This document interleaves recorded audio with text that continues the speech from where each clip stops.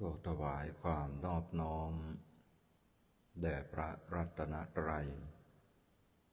คือองค์สมเด็จพระบรมครูสัมมาสัมพุทธเจ้า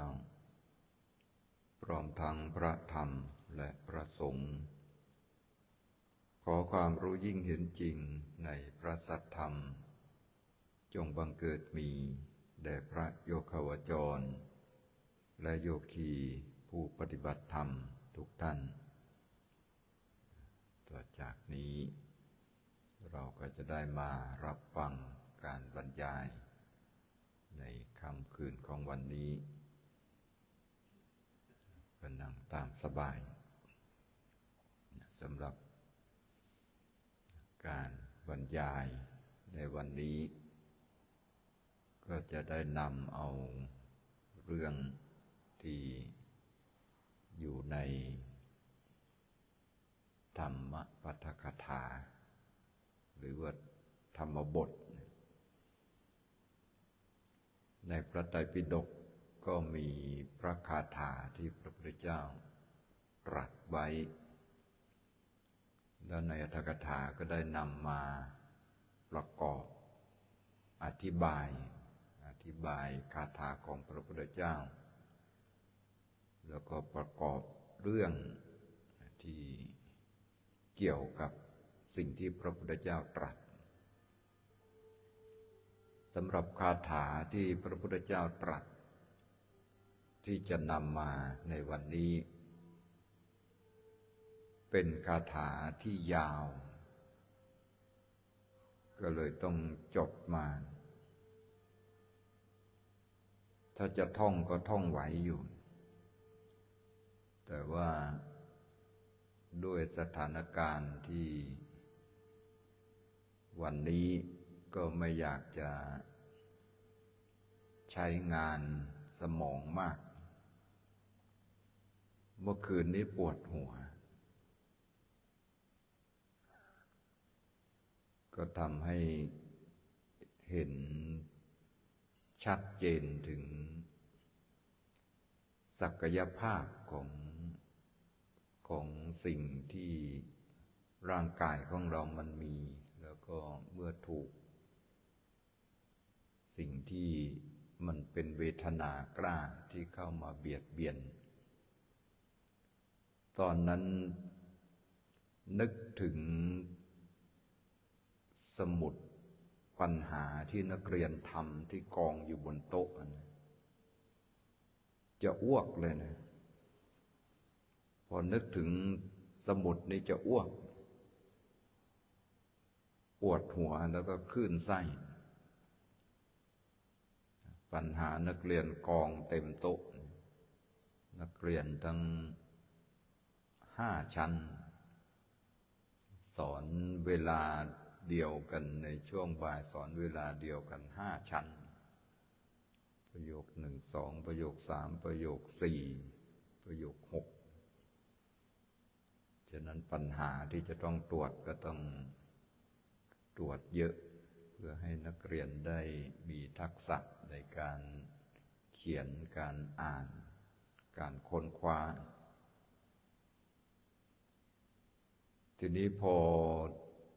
ศักยภาพทางร่างกายของเรา มัน มันไม่สนอง ตามันมองไม่เห็น ตาพร่า อาการนี้ก็ไม่ได้เป็นมาประมาณสามปีแล้วที่ไม่ได้เป็น เวลาตาพร่าขึ้นมานี่มองตัวหนังสือยังไงก็มองไม่เห็น เมื่อเรามองไม่เห็นมันก็หมดเลยนะในการที่จะใช้สายตา หมดงานทำเลย ไม่มีงานทำเลย ก็เลยต้องนอนพัก แล้วก็ใช้กรรมฐานนี่แหละ เมื่ออาการเวทนาเกิดขึ้นมันปวดเกิดขึ้น แล้วก็กำหนดปวดหนอ ปวดหนอนี่ถ้าไม่มีกรรมฐานนี่ก็แย่เหมือนกันนะ นี่เวทนากล้าที่มันเบียดเบียน ที่พระพุทธเจ้าก็ตรัสไว้แล้วในพระคาถา พระพุทธเจ้าตรัสคำเป็นต้นว่า โยทันเดนะ ทันเทสุ ดังนี้เป็นต้นคาถานี้เป็นคาถาที่ยาว ก็คือกล่าวถึงฐานะสิบประการที่บุคคลจะต้องประสบพบเจอ อย่างใดอย่างหนึ่ง หรือว่าหลาย ๆ อย่าง เพราะว่า เป็นกรรมที่ไปทำไปประทุษร้าย ในบุคคลผู้ ไม่ประทุษร้าย ผู้ไม่มีอาชญาด้วยอาชญา บุคคลนั้นย่อมได้ประสบฐานะอย่างใดอย่างหนึ่งในฐานะสิบอย่าง มีเวทนากล้าเป็นต้น เวทนากล้าก็คืออาการเจ็บปวดที่มันรุนแรง ทำให้เกิดความทุกข์ทรมาน โดยที่ยังหาสาเหตุไม่เจอ อันนี้ก็ยังหาสาเหตุไม่เจอ เคยไปหาหมอแล้วตรวจแล้วก็ยังหาสาเหตุไม่เจอ สาเหตุที่แน่ ๆก็คือกรรมนี่แหละ กรรมที่เราทำมาในอดีต ฉะนั้นในคาถานี้พระพุทธเจ้าได้ยกขึ้นมา ปรารบพระมหาโมคคลานะ ซึ่งพระมหาโมคคลานะเนี่ยก็ถือว่าเป็นสุดยอดในเรื่องของอัครสาวกผู้มีฤทธิ์สาวกองค์อื่น ๆ ก็มีใครที่จะไม่มีใครที่จะเทียบได้กับ ระโมคคัลลานะ ยกไว้แต่พระพุทธเจ้าภิกษุรูปอื่นไม่มีใครที่จะยิ่งกว่าพระโมคคัลลานะ ในเรื่องของการมีฤทธิ์พระโมคคัลลานะท่านมีฤทธิ์มาก ท่านก็ไปสวรรค์ ไปเที่ยวถามนางฟ้า นางสวรรค์ นางเทพอัปสรเทพบุตรเทพธิดา ไปถามว่าท่านทำกรรมอะไรถึงมาเกิดในที่นี้มีสวรรค์วิมานทิพยสมบัติอย่างนี้อย่างนี้ ก็ไปถาม นางฟ้านางเทพอับสรบางตนก็มีความละอายว่า กรรมที่ตนทำมามันนิดหน่อยเหลือเกิน ก็ไม่อยากจะบอก พระโมคคัลลานะก็ขยันขยอว่าบอกเถอะถึงจะนิดหน่อยก็บอกมาโดยความเกรงอกเกรงใจพระก็เลยต้องได้เล่าได้บอก บางคนก็บอกว่าเพียงแค่ดิฉันข่มความโกรธได้ ไปอยู่ในบ้านของสามี แม่สามีทำร้ายทุกตีดิฉันต่าง ๆ ดิฉันก็ข่มความโกรธไว้ ไม่ทำความโกรธให้เกิดขึ้น ในแม่ของสามี ก็ทำให้ดิฉันมาเกิดเป็นนางฟ้าอยู่บนสวรรค์ พระโมคคัลลานะเมื่อถามได้ความแล้วก็ลงมาบอก มาบอก มาเทศมาสอนนั่นเอง มาเทศก็ยกตัวอย่าง นางฟ้าตนนั้นตนนี้ เทวดาตนนั้นตนนี้ทำกรรม อย่างนี้อย่างนี้ ให้ทานรักษาศีลทำกุศลอย่างนั้นอย่างนี้ได้ไปเกิดเป็นเทวดาเป็นนางฟ้า แล้วก็ไปที่นรก พระโมคคัลลานะ ท่านมีฤทธิ์ท่านไปได้ ไปนรกก็ไปถามสัตว์นรก ว่าท่านทำกรรมอะไร หรือว่าถามยมพบาลยมทูตนั่นแหละที่ลงโทษสัตว์นรกว่าสัตว์นรกนี้ทำกรรมอะไรมา ถึงได้รับโทษอย่างนี้ พอได้ความได้เรื่องท่านก็กลับมา มาเทศมาสอนมาบอก ชาวบ้านชาวเมืองว่าคนทำกรรมชั่วอย่างนี้อย่างนี้ จะต้องถูกลงโทษอย่างนั้นอย่างนั้น คนก็ชอบฟังฟังเรื่องประกอบ มีเรื่องราวประกอบ แล้วท่านก็ไปเห็นมาจริง ๆด้วย มีเรื่องราวประกอบก็ทำให้คนยิ่ง ขวัญขวายในการทำความดี ในการละความชั่ว ยิ่งศรัทธาในพระพุทธศาสนามากยิ่งขึ้นอีก เพราะพระโมคคัลลานะท่าน พูดจากที่ท่านเห็นมาจริง ๆ ท่านเทศไม่เก่งนะพระโมคคัลลานะเทศไม่เก่งหรอก แต่ว่าท่านพูดจากประสบการณ์ของท่าน ไม่เหมือนบางองค์ที่ท่านมีเอตทัคคะมีความเป็นเลิศในด้านการแสดงธรรม แสดงธรรมได้อย่างวิจิตรอย่างนี้ก็มีแสดงธรรมที่ย่อให้พิสดารก็ได้ แสดงธรรมที่พระเจ้าตรัสไว้อย่างพิสดารให้ย่อๆก็ได้ แต่ว่าพระโมคคัลลานะท่านไม่ได้มี พรสวรรค์หรือว่ามีความเป็นเลิศในด้านการแสดงธรรม ท่านก็อาศัยฤทธิ์นี่แหละ เป็นประสบการณ์ที่ท่านมาเทศมาแสดง คนก็ชอบฟังทำให้คนศรัทธาเลื่อมใสในพระพุทธศาสนามาทำบุญเข้าวัดฟังธรรมกันมาก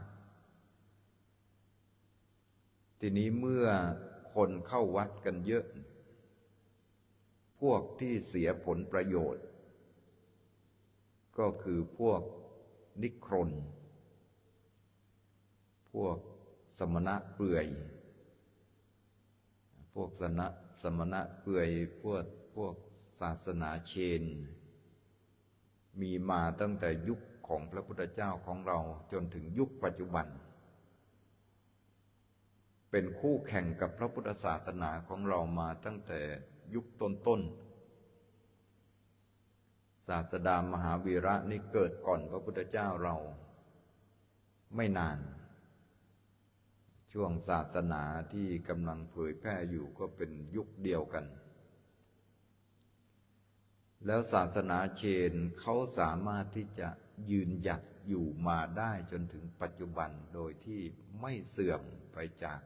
อินเดีย ส่วนพุทธศาสนาของเราหายไปเมื่อประมาณพันเจ็ดร้อยปีหลังพุทธปรินิพาน มาปื้นปูขึ้นมาอีกทีหนึ่งก็หลังจากนั้นมาประมาณเจ็ดร้อยปี ประมาณสองพันสี่ร้อยถึงปืนปูขึ้นมาอีก ฉะนั้นช่วงพุทธศาสนาที่หายไปจากอินเดียนี่ร่วมเจ็ดร้อยปีถือว่ายาวนานมาก ถ้าประวัติศาสตร์ของไทยเราก็ช่วงยุคช่วงสุขโขทัยมาจนถึงรัตนโกสินทร์เป็นช่วงที่ยาวนาน ส่วนศาสนาเชนเขายังสามารถที่จะยืนหยัดอยู่ได้ในประเทศอินเดีย เพราะว่าคนอินเดียนี่ในเรื่องของความเชื่อการแสวงหาทางหลุดพ้นของเขามันมันสุดยอดของความคิดของคน ถ้าทำอะไรสุดโต่งก็สุดโต่งจริง ๆ เลย พวกนิครนพวกไม่นุ่งผ้าเนี่ยเขาก็ ถือว่าการนุ่งผ้าเป็นกิเลส ก็เลยสละกิเลสด้วยการไม่นุ่งผ้า ก็เป็นลัทธิความเชื่อของเขาที่ยังมีอยู่ถึงปัจจุบัน ทีนี้พวกนิครนซึ่งเป็นคู่แข่งกับพระพุทธศาสนาของเรา เขาก็ปรึกปรึกษาประชุมปรึกษากันว่า ทำไมคนถึงหันไปนับถือพระพุทธศาสนามากทำไมศาสนิกของเราถึงได้ลดน้อยเบาบางลง เมื่อประชุมปรึกษากันในที่ลับ ก็ได้มติ ข้อสรุปในที่ประชุมว่า เป็นเพราะพระโมคคัลลานะนี่แหละ ที่ มีความสำคัญในพระพุทธศาสนา สาวกองค์อื่น ๆ ก็ไม่เท่าไหร่ แต่ว่าที่สำคัญที่ทำให้คนไปนับถือพุทธศาสนากันมากนะก็คือพระโมคคัลลานะ จะทำอย่างไรที่จะฟื้นฟูศาสนาของเราขึ้นมา โดยการทำลาย ศรัทธาของชาวพุทธลงให้ได้ เบื้องต้นก็ต้องกำจัดต้นเหตุที่ทำให้คนไปนับถือพุทธศาสนาก่อน ก็คือต้องกำจัดพระโมคคัลลานะ เพราะพระโมคคัลลานะนี่มีบทบาทสำคัญในการนำคนเข้าสู่พุทธศาสนา วกนิครนก็เลยไปว่าจ้าง ว่าจ้างพวกนักฆ่า พวกโจรพวกที่ทำการรับจ้างฆ่าแต่ปัจจุบันนี้ก็คือมือปืนนั่นเอง แต่สมัยนั้นไม่มีปืน ปัจจุบันนี้อินเดียเขาก็ยังไม่ค่อยใช้ปืนอยู่นะ ไม่รู้ว่านัก นักจ้างฆ่าที่เราเรียกมือปืนนี่เขาจะเรียกว่ามือกระบองเรื่องตำรวจเขาก็ใช้กระบองนะเขาบอกว่าปืนคนมันไม่กลัว ปืนมันยิงโป้งเดียวก็ตาย มันไม่กลัว แต่ทำไม้นี่มันกลัว รถวิ่งไม่ถูก หลักถูกเกณฑ์นี่ไม้ฟาดเลย ฟาดรถฟาดคนนั่นแหละฟาดคนขับนั่นแหละใครไปอินเดียก็จะนึกถึงบรรยากาศว่าเออ มันเหมือนกับไล่วัวไล่ควายรถก็วิ่งสวนกันไป สวนกันมาบีบแต่กันปิ้นปันปิ้นปันอันนี้คือสภาพของคนชมพูทวีปหรืออินเดียในปัจจุบันที่ก็คงไม่ต่างจากในอดีตเท่าไหร่ พวกนิครนก็เลยว่าจ้างพวกนักฆ่าให้ไปฆ่าพระโมคคัลลานะ พวกโจรนี่ก็ไปกันห้าร้อยเลยโจรห้าร้อยอาจจะมีไม่ถึงห้าร้อยหรอกแต่ว่าพวกโจรนี่มันทำความเดือดร้อนให้กับชาวบ้านชาวเมือง เขาก็เลยเรียกว่าไอ้โจรห้าร้อยมันทำให้คนเดือดร้อนกันเยอะ คนเดียวทำให้คนเดือดร้อนกันเป็นห้าร้อยก็เลยเรียกโจรห้าร้อยพวกโจรนี่ก็ไปล้อมกุฏิของพระโมคคัลลานะไว้หมดเลย เดือนที่หนึ่ง พระโมคคัลลานะก็หนีออก ท่านมีฤทธิ์อยู่แล้วเนี่ยท่านก็ไปไม่ให้เห็นตัวเลย เดือนที่สองผ่านไปก็ยังไม่สามารถที่จะจับพระโมคคัลลานะได้ จนกระทั่งเข้าเดือนที่สามพระโมคคัลลานะท่านก็พิจารณาถึงกรรมของตัวเอง เพราะว่าหนีมาทั้งสองเดือนแล้ว พิจารณาถึงกรรมของตัวเองก็เห็นว่า ยังไงเราก็หนีกรรมไม่พ้น จะเหาะหนีไปมันก็หนีกรรมไปไม่พ้น เพราะว่ากรรมที่เคยทำไว้ในอดีต ปัจจุบันเป็นพระอรหันต์แล้วก็ไม่มีกรรมล้วแต่ว่ากรรมที่ทำไว้ในอดีตเนี่ยมันยังมีวิบากส่งผลอยู่ ในเดือนที่สามท่านก็เลยไม่หนีเลย พวกโจรก็ จับได้ก็พากันทุบ ทุบด้วยท่อนไม้ไม้กระบองเขาเนี่ยแหละไม้ทุบกันจนร่างแหลกเหลวก็ดูปนละเอียด เหมือนกับเมล็ดข้าวสารเลย โดนทุบจนกระดูกปนหมด พวกโจรก็เห็นว่า ตายแน่นอนแล้วถูกทุบขนาดนี้ ก็ลากไปโยนทิ้งที่พุ่มไม้ เสร็จแล้วก็หนีกันไป พระโมคคัลลานะท่านก็อธิษฐานประสานกระดูก ท่านมีฤทธิ์อยู่แล้วเนี่ยแต่ว่ามีฤทธิ์ยังไงก็หนีความตายไม่พ้นนะ แต่ท่านยังไม่ตายยังไม่นิพพาน เพราะว่าก่อนที่จะนิพพานจะต้องไปลาพระพุทธเจ้าก่อน สาวกทุกองค์ สาวกผู้ใหญ่ทุกองค์ พระสารีบุตรก็ไปลานิพพานไปก่อนแล้วพระสารีบุตรนี้ท่านไปนิพพานที่บ้านของแม่ของท่าน นิพพานไปก่อนพระโมคคัลลานะ พระโมคคัลลานะท่านก็อธิษฐานประสานกระดูก แล้วก็ไปเฝ้าพระพุทธเจ้า ไปทางอากาศนั่นแหละ ไปเฝ้าพระพุทธเจ้า แล้วก็ลาว่าข้าพระองค์จะนิพพานแล้ว พระพุทธเจ้าก็เลยตรัสบอกว่าการที่เราเห็นสาวกผู้เช่นกับด้วยท่าน รั้งนี้เป็นครั้งสุดท้ายแล้ว ก่อนที่ท่านจะนิพพาน ก็ให้ท่านแสดงธรรมให้กับตถาคตฟัง ซึ่งก็เป็นประเพณีว่าสาวกทุกองค์ เมื่อจะไปลาพระพุทธเจ้านิพพาน พระพุทธเจ้าก็จะให้แสดงธรรมให้ฟัง พระโมคคัลลานะท่านก็แสดงฤทธิ์ เหมือนกับพระสารีบุตรที่ก่อนที่จะนิพพานก็จะแสดงฤทธิ์ก่อน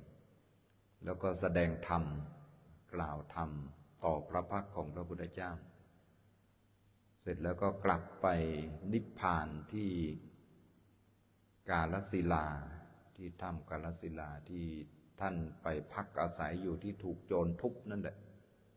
ตรงที่ถูกโจรทุบนั่นแหละ ท่านก็กลับไปนิพพานตรงนั้น ทีนี้ข่าวการตายของพระโมคคัลลานะ ก็แพร่สะพัดไปทั่วเมืองเลย พระราชาพระเจ้าอาชาศัตรู ก็สั่งพวกทหารกองสอดแนมต่างๆ นักสืบต่างๆ สืบหาข้อมูลเรื่องราวมาว่า ใครเป็นคนฆ่า ก็ไปได้ข้อมูลจากนี่แหละพวกโจรนนี่แหละที่พอได้ค่าจ้างแล้วก็ไปเลี้ยงฉลองไปกินเหล้ากัน พอกินเหล้าแล้วก็ทะเลาะกัน พอทะเลาะกันก็หลุดปากออกมาแล้วว่าใครเป็นคนตีพระก่อน ฉันนี่แหละเป็นคนตีก่อน ก็พูดตามภาษาโจรก็เถียงกันไปเถียงกันมา พวกทหารก็เลยจับหมดเลย จับทั้งห้าร้อยเลย จับไปแล้วก็สอบสวน สอบสวนว่าใครอยู่เบื้องหลัง ก็ได้ทราบว่าพวกนิครนอยู่เบื้องหลังในการจ้างฆ่า ก็เลยให้จับพวกนิครนมาทั้งหมดห้าร้อยพวกนิครนก็ห้าร้อย ก็ไม่รู้จำนวนเท่าไหร่อะก็ประมาณห้าร้อยพระเจ้าชาติศัตรูก็สั่งให้ขุดหลุม ฝัง ฝังแค่เพียง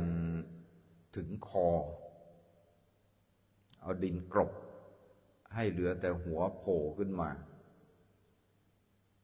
เสร็จแล้วก็เอาฟาง ฟางข้าวเนี่ย เอาฟางมาแล้วก็เอาฟางโปรยข้างบน กรบข้างบน ไม่ใช่ไก่อบฟางนะอันนี้จะเป็น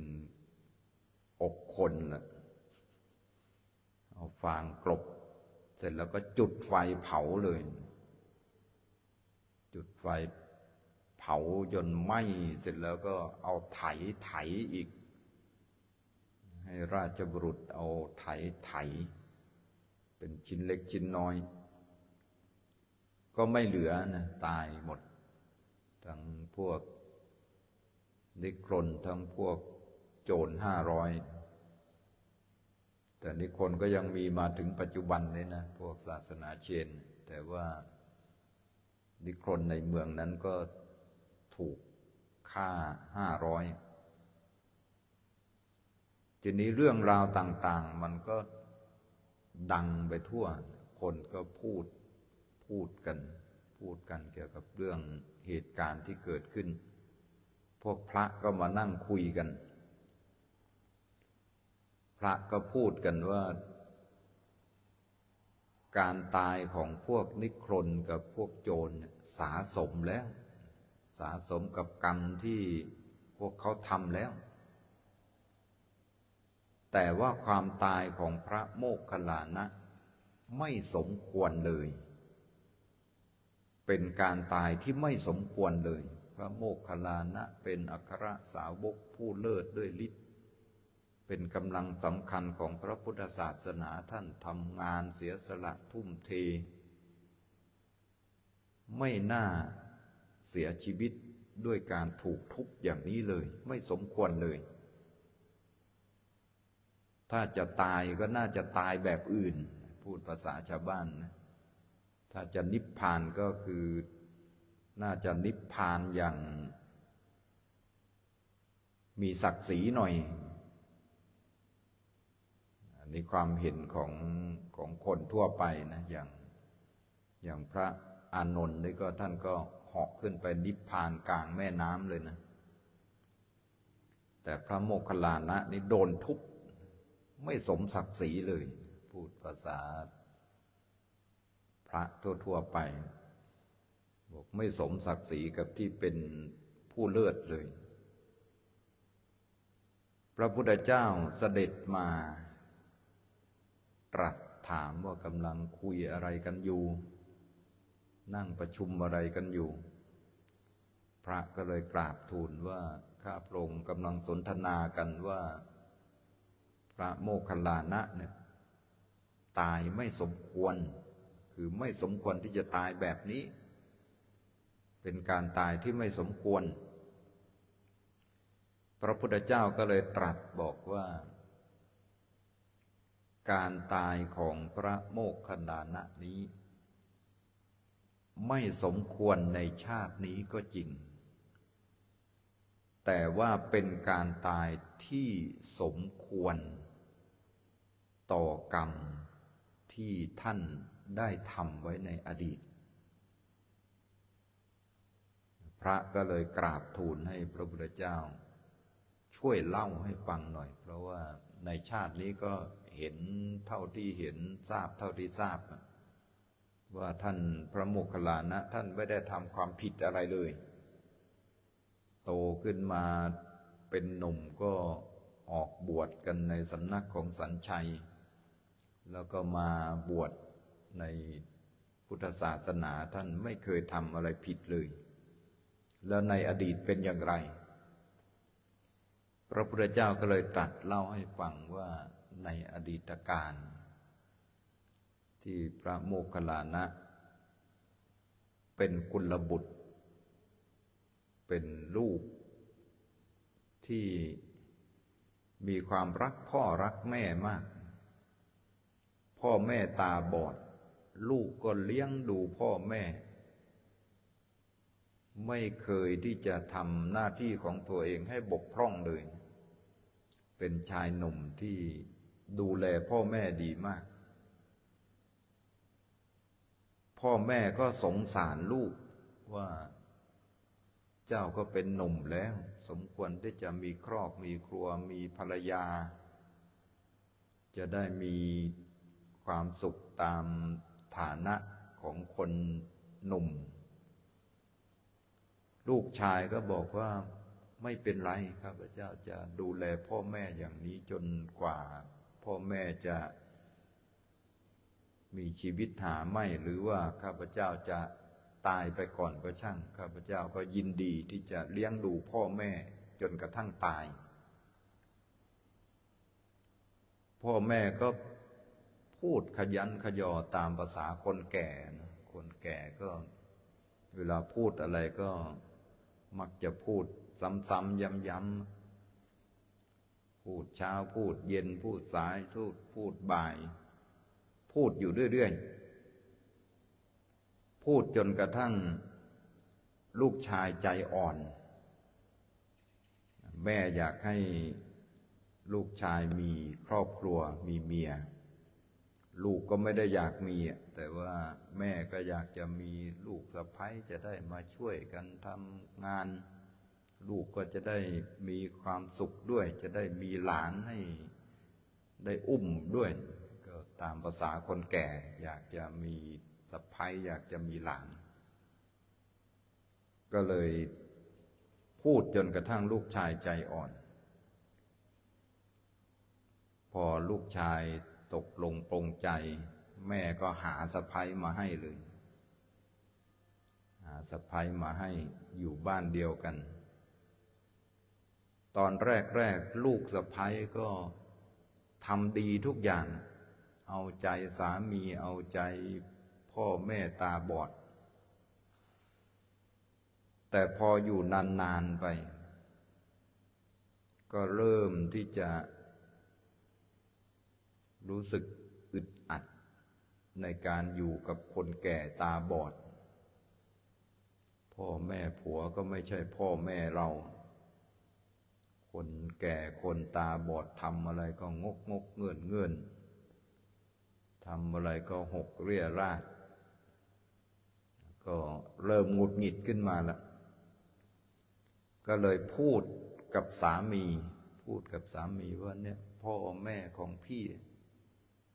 ทำสกปรกมากเลยเนี่ย ฉันก็เช็ดแล้วเช็ดอีก เดี๋ยวก็ทำสกปรกอีกแล้ว สามีก็เฉย พูด พูดกี่ครั้งกี่ครั้งสามีก็เฉยก็ไม่ได้สนใจ จนกระทั่งเวลาผ่านไปนานขึ้นนานขึ้นไอ้จากที่เฉยเฉยมาตลอดเนี่ยพอเขาบอก น้ำหยดลงหินทุกวันหินมันยังกร่อน ถูกเมียพูดเป่าหูอยู่ทุกวันทุกวัน แรก ๆก็เฉยได้อยู่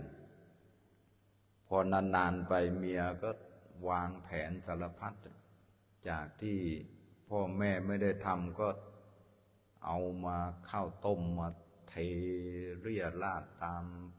พื้นบ้านบ้างทำ ของหกล้มละเนระนาดบ้าง ผัวกลับมาก็ฟ้องผัวว่าเนี่ยฝีมือของคนแก่เนี่ยฉันไม่รู้จะอยู่ได้อีกนานแค่ไหน ฉันอยากจะไปแล้วไม่อยากจะอยู่แล้ว ก็พูดอย่างนี้อยู่บ่อยๆทำอย่างนี้อยู่บ่อยๆ จนกระทั่ง ผู้ที่ บำเพ็ญบารมีมาที่จะได้เป็นอัครสาวกผู้เลิศ เบื้องซ้ายของพระพุทธเจ้าบำเพ็ญบารมีมาเพื่อที่จะเป็นสาวกผู้ใหญ่ บารมีสร้างมาไม่ใช่น้อยนะ แต่พอถูกภรรยายุแยง ตะแคงรั่วก็ให้บ่อยๆ ก็รั่วตะแคงไปเหมือนกัน แตกในบิดามารดาของตัวเอง คือพอถูกพูดกรอกหูมาก ๆ ก็เลย ตัดสินใจเลยว่าถ้าอย่างนั้นก็เอาไปทิ้งพ่อแม่ก็แก่แล้วก็อยู่ไปก็อยู่อีกไม่นานหรอกเดี๋ยวก็ตายแล้ว ก็เอาไปฆ่าทิ้งในป่าซะคนตาบอดอายุก็มากแล้วเนี่ยอยู่ไปก็คงอยู่อีกไม่เท่าไหร่หรอกก็เลยบอกภรรยาว่าถ้าอย่างนั้นก็ เดี๋ยวฉันจัดการเอง ไม่ต้องพูดแล้ว เดี๋ยวจัดการเอง ก็เลย ตอนเช้ามาให้พ่อให้แม่กินข้าวอิ่มหนำสำราญแล้วก็ บอกว่าเดี๋ยวจะพาไปที่เมืองโน้นมีญาติพี่น้อง เขาอยากจะเจอ เดี๋ยวจะพาพวกท่านไปเยี่ยมญาติซะหน่อย พ่อแม่ก็ไม่ได้ว่าอะไรก็พาไปก็ไป ทีนี้พอไปถึงกลางป่า กลางดง ลูกชายก็บอกว่าในดงเนี่ยมี โจรอยู่เยอะ พวกโจรมันซุ่มอยู่ ฉะนั้น ถ้าหากว่า ให้แต่เพียงพ่อแม่ขับเกวียนไปเป็นคนแก่ตาบอดงกงกเงินเงินพวกโจรมันก็คงจะไม่ทำอะไรมาก แต่ถ้าฉันนั่งขับเกวียนไปก็อาจจะถูกฆ่าด้วยกันทั้งหมด ก็ พอพูดอย่างนั้นแล้วก็เอาเชือกใส่มือให้พ่อตาบอดบอกเดี๋ยววัวมันจะนำไปตามทางนี่แหละ เดี๋ยวฉันจะค่อยๆแอบตามไป พ่อแม่ก็นั่งเกวียนไป คนตาบอดเกวียนก็วัวก็พาไป พอไปได้พักหนึ่ง ลูกชายก็ เรียนเสียงโจรทำเป็นเสียงโจร ปล้น ปล้นฆ่า ขึ้นมาก็เอะอะโวยวายเลยทำเป็นเสียงกระโชกโคกคากเอาไม้ทุบ ไม้ทุบ พ่อแม่ซึ่งตาบอดมองไม่เห็น พ่อแม่ก็ร้องขอชีวิตบอก อย่าทำฉันเลย อย่าทำคนแก่เลย คนแก่ตาบอดแล้วฆ่าไปก็ทรัพย์สมบัติอะไรก็ไม่ได้มีก็ขอร้อง แต่ว่าลูกชายก็ ไม่รู้ใจแข็งยังไงนะ ก็ ตีพ่อตีแม่จนตายฆ่าพ่อฆ่าแม่จนตาย อันนี้ในธรรมบทที่ท่านกล่าวถึงประวัติของพระโมคคัลลานะก็คือฆ่าพ่อฆ่าแม่ทุบทุบตีพ่อแม่ แต่ในบางที่ในในมังคลัตทีปณีกล่าวถึง ประวัติตรงนี้ว่าไม่ได้ฆ่า เอากลับมาเลี้ยงอีกแต่ก็ตายตายด้วยการทุบตีนั้น ส่วนในธรรมบทนี้ก็ กล่าวถึงว่าทุบตีจนกระทั่งตาย จากนั้นอดีตของพระโมคคัลลานะ ตายจากชาตินั้นก็ไปเกิดในนรก ไปถูกเผาอยู่ในนรก หลายแสนปี เป็นสัตว์นรกที่ถูกทรมาน ถูกเผาอยู่หลายแสนปี จนกระทั่งเมื่อมาเกิด มาเกิดเป็นมนุษย์เนี่ยก็ถูกคนทุบจนกระดูกป่นละเอียด อีกหลายร้อยชาติ เกิดมาชาติไหน ๆ ก็จะถูกคนทุบอย่างนี้ จนกระทั่งมาถึงชาติสุดท้าย ขนาดได้บรรลุเป็นพระอรหันต์แล้ว ก็ยังถูกโจรทุบจนกระดูกป่นละเอียด ฉะนั้นพระพุทธเจ้าจึงตรัสถึงว่าการตายของพระโมคคัลลานะ ไม่สมควรในอัตภาพนี้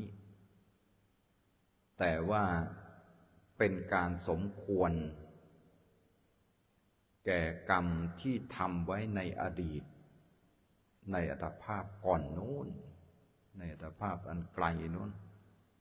เป็นกรรมที่สมควรที่พระโมคคัลลานะได้รับ ส่วนพวกโจร พวกนิครนที่ถูก พระราชา จับฝังแล้วก็เผาทั้งเป็นแล้วก็เอาไถไถ ก็เป็นการได้รับ ผลกรรมที่ตัวเองได้ทำ เพราะว่าบุคคลที่ปทุสร้าย ในบุคคลผู้ไม่ปทุสร้าย คือโดยเฉพาะในพระอรหันต์เนี่ยท่านไม่ปทุสร้ายใครอยู่แล้ว ท่านไม่เบียดเบียนใครอยู่แล้ว แต่ว่าไปปทุสร้ายผู้ที่ไม่ปทุสร้ายต่อ ผู้ไม่มีอาชญาด้วยอาชญาคำว่าทันเดนะอาทันเดสุทันดะก็คือ จะว่าท่อนไม้ก็ได้ จะว่าอาชญาก็ได้ปทุสร้ายด้วยท่อนไม้ในบุคคลผู้ไม่มีท่อนไม้ อย่างเช่น เราตีหมาตีแมวนี่มันก็ไม่มีท่อนไม้สู้เราเหมือนกัน เรามีท่อนไม้ ถ้าเราไม่มีไม่มีไม้ในมือนี่เราก็จะสู้หมาสักตัวหนึ่งก็สู้ไม่ได้นะคนมาวัดในหมาเห่านี่ต้องหันมองซ้ายมองขวา เอาเจอไม้ค่อยอุ่นใจหน่อย บุคคลผู้ ประทุษร้ายในบุคคลที่ไม่ประทุษร้าย ผู้ไม่มีท่อนไม้ด้วยท่อนไม้ บุคคลนั้นย่อมประสบกับฐานะ อย่างใดอย่างหนึ่งในฐานะสิบอย่าง ที่พระพุทธเจ้าตรัสไว้เป็นพระคาถาเป็นพระบาลีนี่ก็จะได้ยกเอา พระบาลีที่พระพุทธเจ้าตรัสไว้ว่า โยทันเดนะอะทันเดสุอัปทุตเถสุทุตสติทัสันนมันยตรังฐานัง ขิปปะเมวะนิคัตติ ผู้ใดย่อมประทุษร้ายในบุคคลผู้ไม่ประทุษร้าย ผู้ไม่มีอาชญาด้วยอาชญา ผู้นั้นนิคัจติย่อมถึง อัญญตรังฐานังซึ่งฐานะอย่างใดอย่างหนึ่งทัสันนังก็บรรดาฐานะสิบอย่าง ขิปปะเมวะ ก็คือต้องเจอฐานะสิบอย่างเนี่ยอย่างฉับพลันทันด่วนเลย เหมือนกับเห็นผลทันตา อย่างพวกที่ถูก ระราชาลงลงโทษด้วยการประหารชีวิตด้วยการฝังทั้งเป็นเผาทั้งเป็น ก็คือจะต้องประสบกับฐานะอย่างใดอย่างหนึ่งในสิบอย่าง ฉับพลันทันที ฐานะสิบอย่างมีอะไรบ้าง เวทนังพรุสังชานิง สรีรสวะเพทนัง คารุกังวาปิอาภาทัง จิตตักเขปังวะปาปุณี ราชโตวาอุปสักขัง อัพพักขานังวะทารุนัง ปริขยังวายาตีนัง โภคานังวะปะพังคุนังอัทวาสะอัคารานิ อักขิรหัติปาวโก กายสะเพทาทุปปัญโย นิระยังโสอุปัตชติติ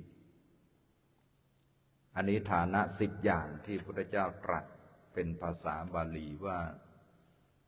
อย่างแรก ก็คือเวทนังพรุสัง ต้องประสบกับเวทนากล้า เวทนากล้าก็คือ ความเจ็บปวดที่รุนแรง ที่ได้พูดมาตอนต้นนั่นแหละว่า บางคนก็ไม่เคยที่จะเจออาการ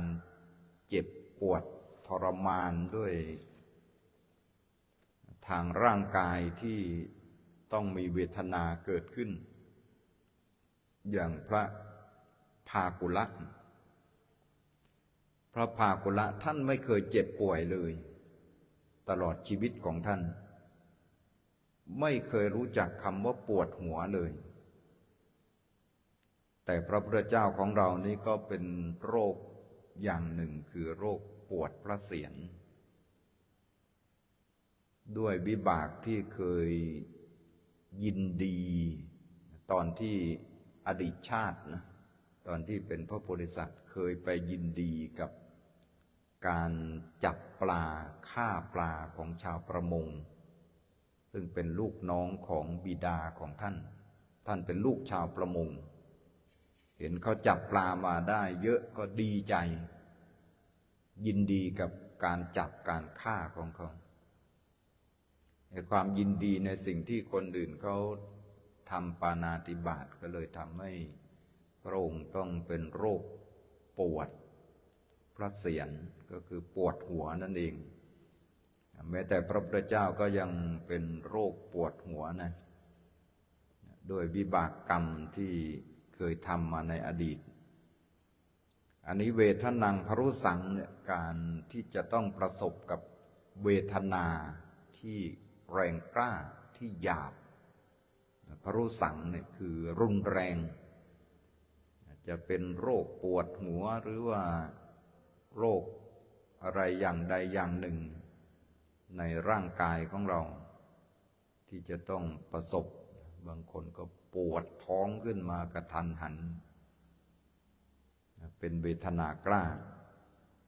อย่างที่สองก็คือชานิง ชานิงคือความเสื่อม เกิดความเสื่อม อาจจะความเสื่อมจากข้าวของเครื่องใช้อะไรต่างๆ ที่ตัวเองเสาะแสวงหามาด้วยความยากลำบาก ได้มาแล้วก็หายไป เสียหายคำว่าเสื่อมในที่นี้ก็คือมันสูญหายนั่นเอง หรือว่ามันมันถูก ชิงถูกขโมยไป อันนี้คือทรัพย์สินสมบัติของเราก็จะรักษาไว้ไม่ค่อยได้ เกิดความเสื่อม อย่างที่สามก็คือสรีรัสวะเพทนัง ความแตกหักของอวัยวะร่างกาย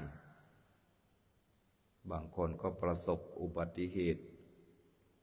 แข้งหักขาหัก กระดูกแตก บางคนก็ถูกลงทันด้วยการตัดมือตัดเท้าก็มี บางคนก็ทำงานทำงานกับเครื่องไม้เครื่องมือเครื่องจักร มือขาดเพราะถูกเครื่องจักรตัดไปก็มี สารพัดที่จะ ประสบอุบัติเหตุทำให้เกิดความเสียอวัยวะในร่างกาย สรีรสวะเพทนัง อย่างที่สี่ก็คือคารุกังวาปิอาพาทัง อาพาธที่หนักที่รุนแรง ความอาพาธความเจ็บป่วยที่มัน รุนแรงชนิดที่พลิกชีวิตของคนคนหนึ่งที่อาจจะมีร่างกายที่สมบูรณ์แข็งแรงสามารถที่จะไปมาได้เหมือนคนทั่วไป แต่พอเจ็บป่วยรุนแรงขึ้นมา เป็นอมพึกอมพาตเป็นผู้ป่วยติดเตียง เป็นผู้ป่วยที่เดินไม่ได้ หมดสภาพเลยนะ ปัจจุบันนี้ก็มีเยอะมากเลย คนที่เป็นอมพฤกษ์เดินก็เดินไม่ได้เหมือนเก่า เป็นเป็นครึ่งซีก แขนขาหมดแรงใช้การไม่ได้ เหลือขาเดียวแขนเดียวนี่ก็ มันชีวิตทั้งชีวิตเลยนะ แม้มันจะเสื่อมไปเสียไปครึ่งหนึ่ง แต่ว่าเหลืออีกครึ่งหนึ่ง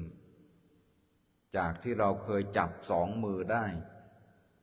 ต้องจับแค่มือเดียวอย่างนี้จะยกของก็ยกอะไรไม่ได้ จะเดินขาเดียวมันก็เดินลำบาก หมดสภาพเลย อันนี้คืออาพาธที่มันรุนแรงมันหนักครุกังวาปิอาพาทัง อย่างต่อมา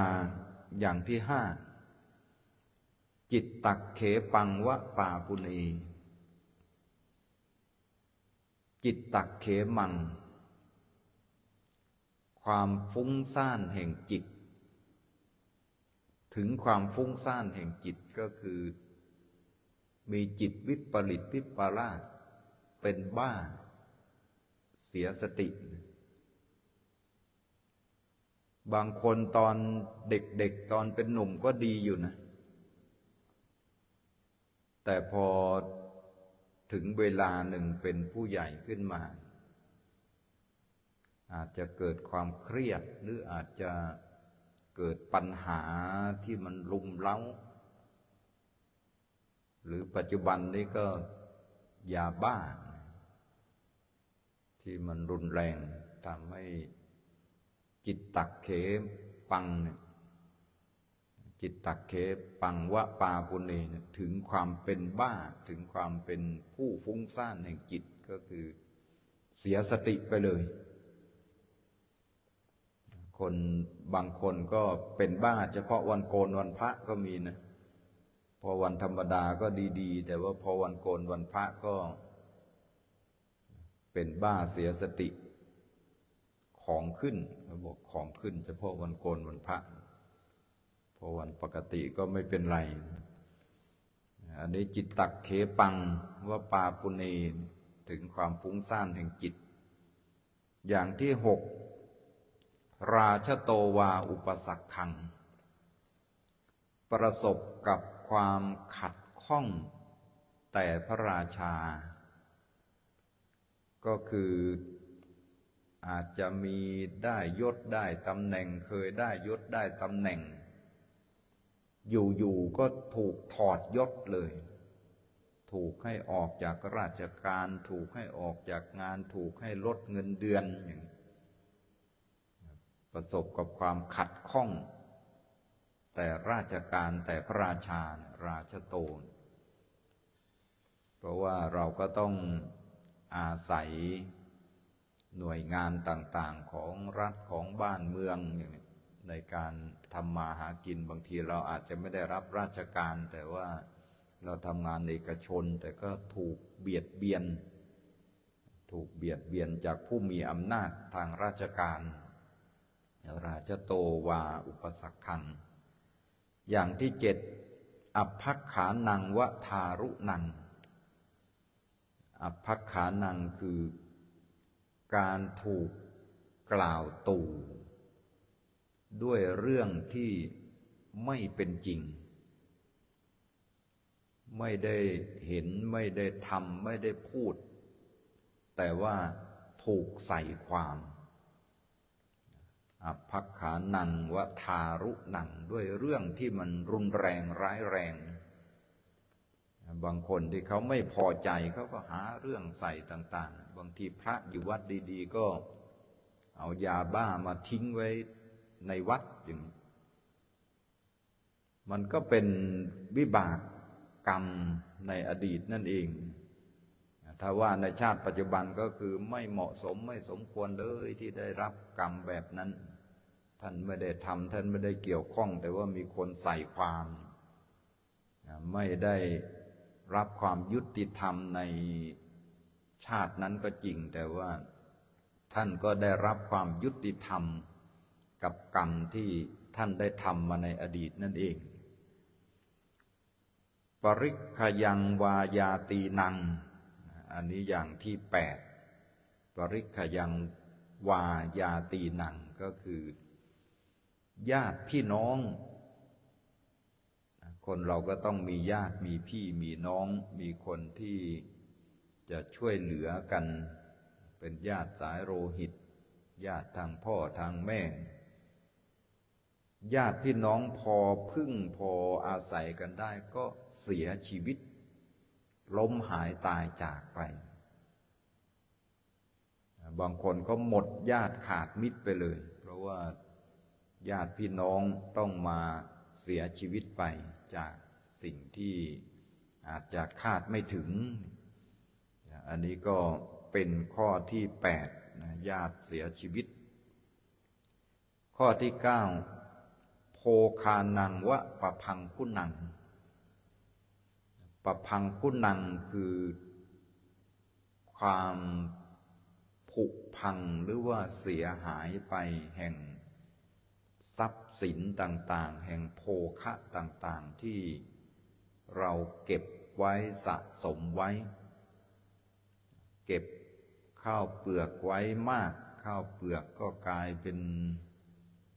ขึ้นราไปบ้างออก งอกเสียหายไปบ้าง หรือว่าเป็นมอดเป็นข้าวรีดไปบ้าง เงินทองที่เก็บไว้ก็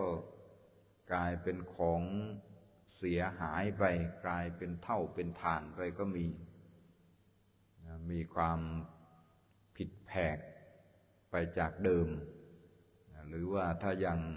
ในสถานการณ์ปัจจุบันก็อาจจะธนาคารล่ม ล้มละลาย ถูกฟ้องร้องล้มละลาย หรือว่าระบบต่างๆมันมีการ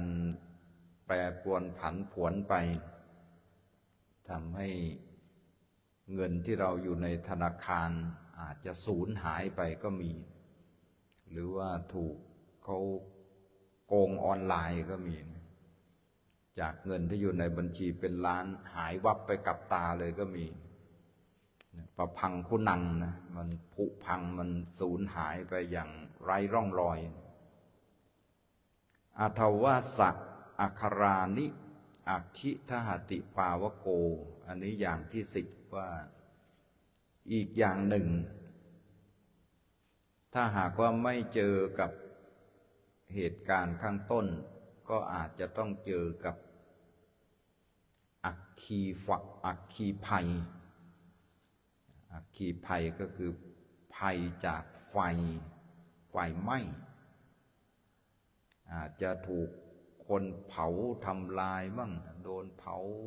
เลือกสวนไร่นาถูกเผาบ้าน อาจจะถูกคนจงใจเผาหรือว่าอาจจะไฟป่า มัน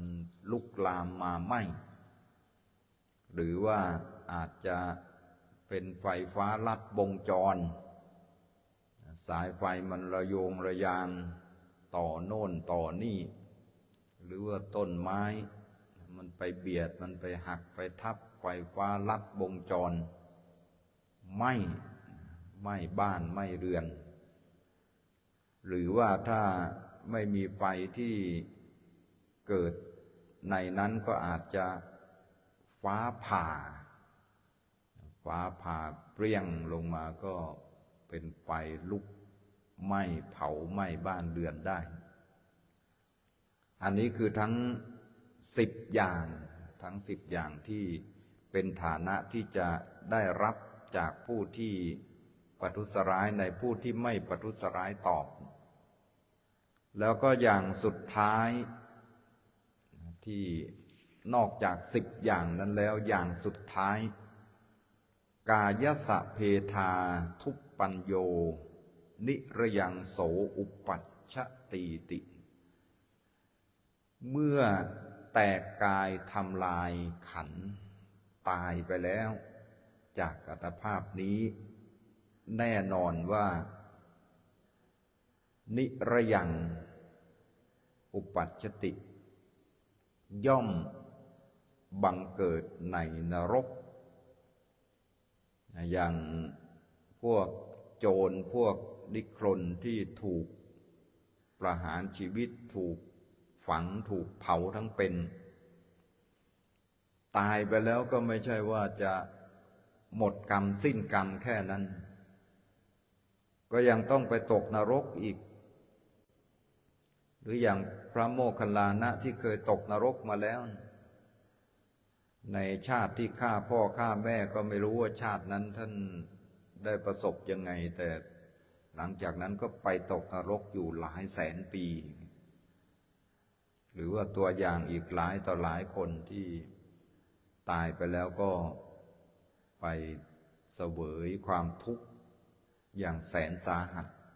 ที่มันยิ่งกว่าทุกข์ในโลกมนุษย์ ที่เราจะ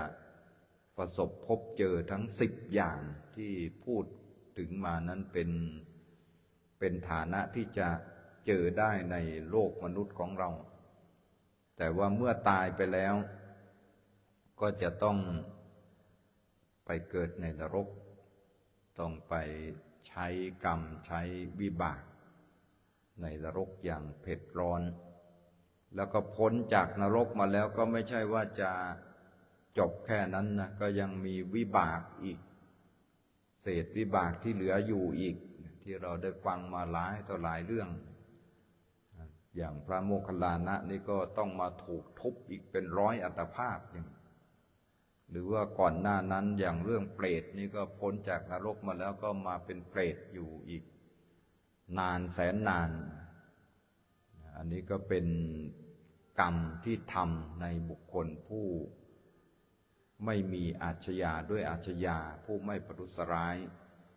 ด้วยการปรุสร้ายผู้ที่ไม่ปรุสร้ายก็จะได้รับผลทันตาเห็นเอาละวันนี้เวลาก็หมดแล้ว ก็ต้องยุติ การบรรยายไว้แต่เพียงเท่านี้ ในท้ายที่สุดนี้ด้วยอำนาจคุณพระศรีรัตนตรัยคุณพระพุทธคุณพระธรรมคุณพระสงฆ์คุณความดีที่ทุกท่านได้สะสมอบรมมาดีแล้ว จงเป็นพลวะปัจจัยเป็นอุปนิสัยให้ทุกท่าน ได้มีความเจริญก้าวหน้าในการปฏิบัติธรรมโดยทั่วกันทุกท่านทุกคนเธอ